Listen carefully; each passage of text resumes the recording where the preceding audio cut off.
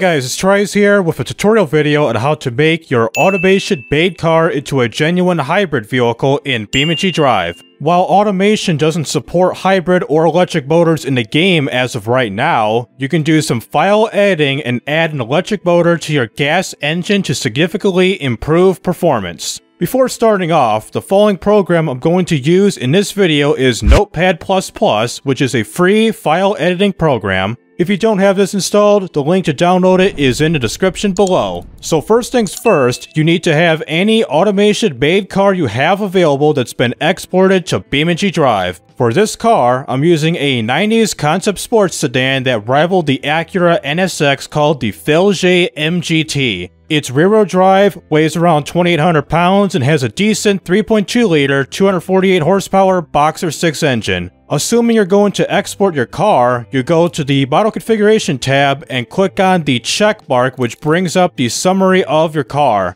On that menu, click on the BeamNG logo to bring up the Vehicle Export menu. You can also do this in the main menu under Car Designer, then you click on the car you want to export and again, click on the BeamNG logo. When you've got a name for your car, go ahead and export it. This should take about a minute for it to export depending on how much work you've put in your car. Once that's done, we'll get out of automation and open up BeamNG Drive. For the editing portion of the video, you go into BeamNG to prepare to unpack the car's file. Once you're in the main menu, you click on the repository menu. Next, you click on Mods Manager on the top left portion of the screen. Then you find the name of the file of the car you've just exported, which in this case it's called trize underscore fabergé underscore mgt underscore concept. Once you find the file that you want, click on unpack to properly unzip the file so they can be edited seamlessly. After it has been unpacked, you should see the Open and Explorer button become visible. You click on it to open up the File Explorer that takes you to the exact file you just unpacked. Once you see the art and vehicles folders show up in the file, you go into vehicles, then you go into the car's folder name, and right here, find the file name, camso underscore engine dot jbeam. This is where your car's engine performance data is stored for your vehicle. So you see here, we've got hundreds of lines of code that make up the engine for this car. So now let's add the code to apply the hybrid motor to this car. The first thing we're going to do is to add the following piece of code, which is left bracket, quotation mark, camso underscore electric underscore motor, quotation mark, comma, quotation mark, camso underscore hybrid, quotation mark, comma, space, quotation mark, hybrid, space, motor, quotation mark, right bracket, and a comma. What I've done is that I've gave the parameters to make way for the electric motor, which you'll see later on in the video. The first section is the engine type, the second one is the default parameter of the electric motor, and the third one is the name that I've given which you'll see in the parts selector in BeamNG Drive. For the next piece of code, you scroll down quite a bit until you see the differential configuration under powertrain below the vehicle controller group at around like lines 240. Right below the differential hyperlink, you can copy and paste the existing differential code for the gas engine. When you copy the code, place it right underneath the gearbox differential code. Now we got to change it up to introduce the motor to the vehicle. To do this, you change the differential name to motor diff, the input name to front motor, and change the gear ratio to a 4. You may need to change the ratio in case the motor kicks it too fast, too slow, or produces a higher low top speed, which we'll do that later on the video. Next, we would have to connect the motor to the wheels, whether if it's the front or the rear. In this particular case, it's the front because the car's rear-wheel drive.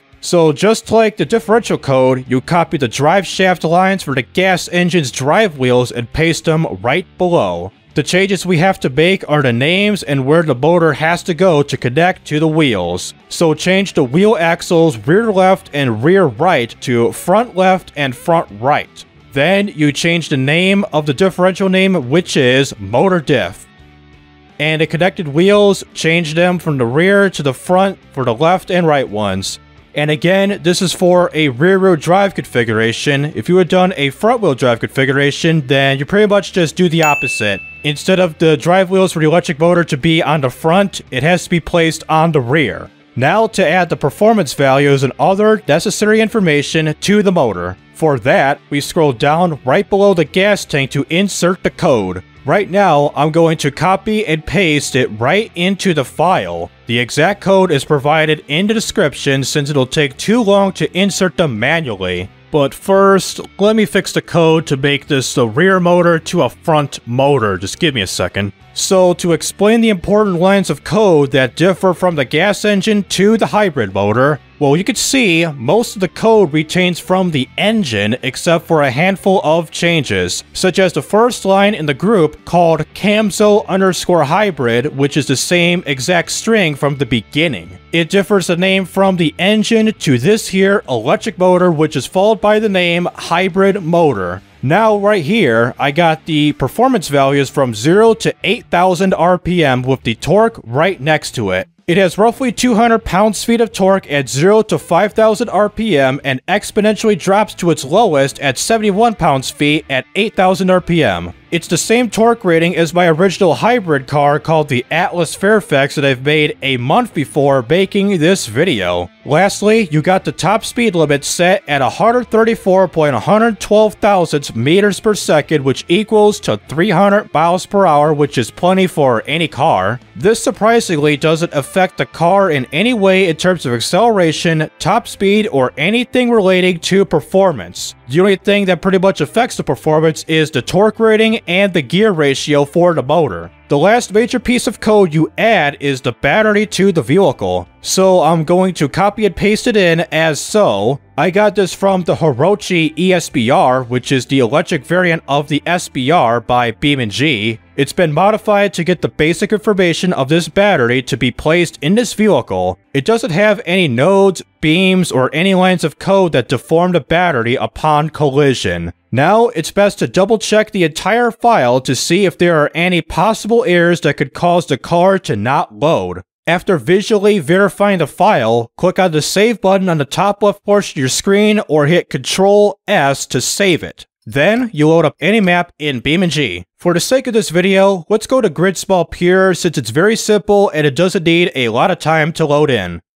So here's the car spawned up. I do have the powertrain map and torque curves set up. As you can see, the motor is connected to the front of the vehicle, but the torque curve is not updated. That's because it relies on the gas engine's power and torque rating and not the hybrid motor. So no matter what, if you alter the torque rating of the motor, this won't update at all. So now, hit the accelerator and see how the car behaves. I'll also spawn a copy of this car without the motor for comparison with how much of a difference in performance this is. If you notice that the motor kicks in too strong, too weak, or has a low top speed, you need to edit the torque values to alter the power of the electric motor. For the top speed, you change the gear ratio to make it taller or shorter than it currently is. So now, let me try to perfect this car in Notepad++ again. So back into that program, find out why your car is behaving awkwardly in terms of performance.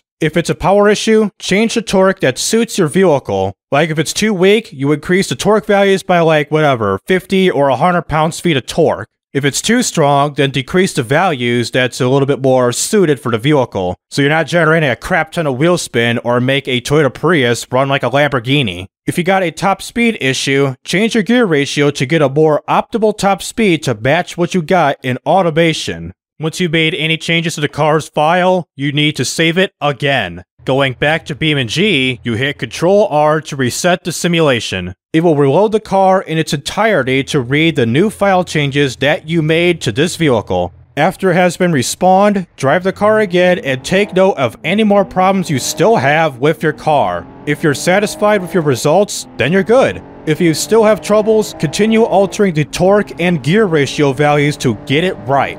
So let me explain what I've done here. So I did alter the torque rating and the max RPM to 8500 RPM. So for the torque rating, I got up to the max of 8500 RPM with the max torque. at its lowest of 102, I think pounds feet of torque this is, or newton meters, I don't know. But it's at 102, and the max RPM is set to the highest of 8500 RPM for the electric motor only. Alright, just to wrap this up, let's compare the difference between the stock MGT and the hybrid model. The one in red is the hybrid version, and the one in green is completely stock. So first things first, let's compare the 0 to 62 times with both cars right now. So with the hybrid, despite being around 247.5 horsepower, it's much, much quicker than the stock one hopefully. So we do get a 0 to 62 time in 4.83 seconds of 253.80 feet. Now let's head over to the stock one. Same thing, hit the gas pedal with this one to get a 0 to 60 time with the stock variant.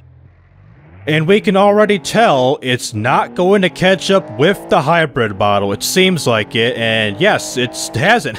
so the 062 time is 0.03 seconds of 320.10 feet. As you can see, it does work and really improves the performance with this here hybrid vehicle. And what's also interesting, if I turn the car off in the hybrid model and I hit the gas pedal, you could you could drive with just the motor alone. But as you see here, it's not going to be fast, but this shows you proof that the motor does work, and you don't even need the gas engine. But if you don't even have to use a gas engine, it's going to take a while to reach a top speed or 0 to 60, but it just shows you that the motor does work. So that'll do it with Automation and BeamNG Drive with making a hybrid vehicle. Since Automation isn't going to implement hybrids anytime soon at the moment, I guess this video makes it happen, which pretty much fills that in. And for those who are interested in this type of content, please be sure to like and subscribe so you won't miss out on any videos like this in the future. And also check out my social media down in the description below. So this is TRIZE Rising Up,